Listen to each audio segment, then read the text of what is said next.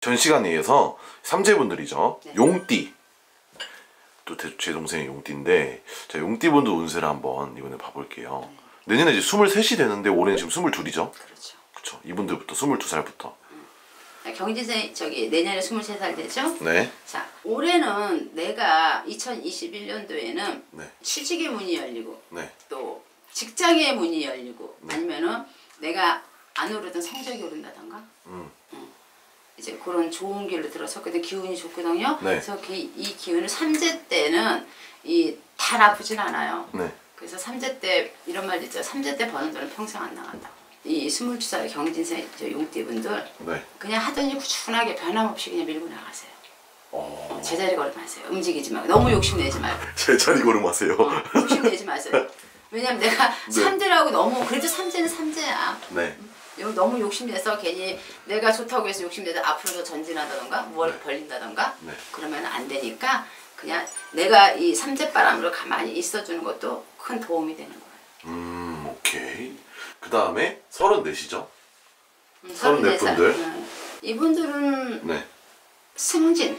음, 음, 삼재래도 나 좋아하는 팀들 요번에 있었어요. 그죠? 네. 닭띠분들 얼마나 좋아. 그쵸. 어, 의외로 삼재도 참 좋았잖아요. 네. 그죠? 금전 만든 사람도 있고 제 주위에 닭띠 분들도 되게 다 좋더라고. 네. 그 35살 내년에 35이죠? 네. 어, 이분들도 승진도 보이고 네. 어, 동업자가 생긴다던가 음. 어, 이런 좋은 직장으로 뭐 월급이 올라간다던가 삼재가 다 나쁜 건 아니에요. 그쵸. 맞습니다. 그 다음에 46. 46 네. 병진생 용띠죠? 네. 내년에 47 들어와요. 그쵸. 이분도 아까 말씀드렸죠? 대성주입니다.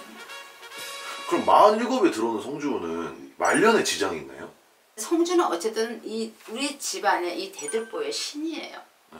대들보가 무너지면 집안이 무너지고 대들보가 쓰면 집안이 바로 쓴다 그러잖아요. 네. 어? 집안에 모신 신이란 말이야. 그쵸. 그래서 이 대들보가 바로 쓰는 그런 큰 신이에요. 어떻게 보면 제일 큰 신이에요. 성주 신이. 운 중에서.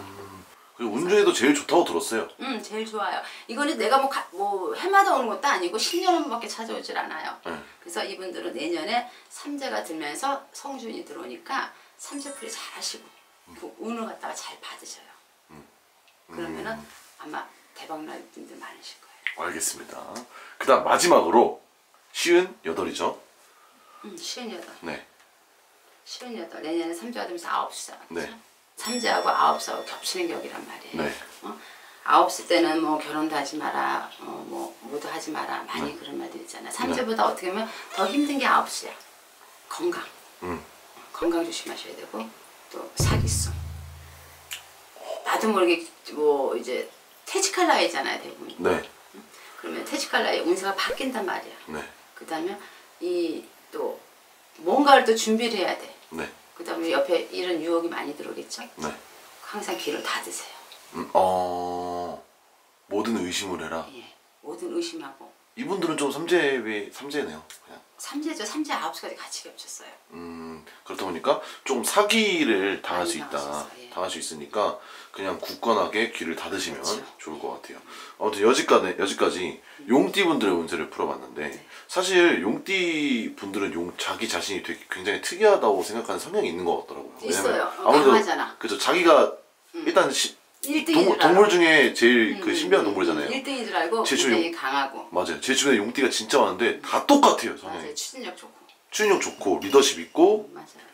자존심 강하고 자기가 제일 잘났고 참 추진력은 굉장히 좋아요. 그렇죠. 용띠분들이 이 영상을 꼭 봐줬으면 좋겠어요. 제가 사실 그 네, 말씀 항상 띠 믿고 항상 조심하세요. 맞습니다. 네. 감사합니다. 네.